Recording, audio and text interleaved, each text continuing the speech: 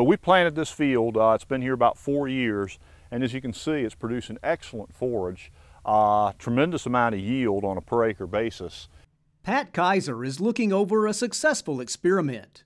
The UT Institute of Agriculture's Holston Farm includes fields of big blue and little blue stem and Indian grass, native species high in nutrition and drought tolerant, once common throughout Tennessee.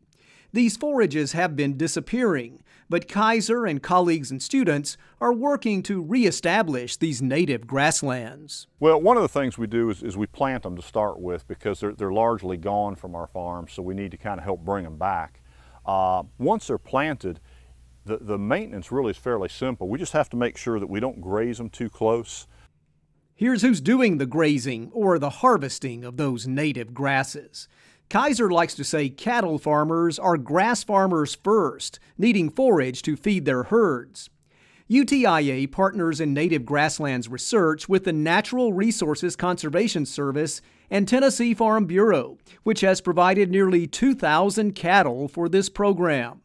That's the main reason we grow forages for livestock, but there are other important reasons to maintain native grasslands. There's a value to having these native grasslands back on our landscapes. Not only are they important for livestock production, we've looked at them for biofuels production, but they also have a lot of benefit for soil health, water quality, uh, wildlife conservation.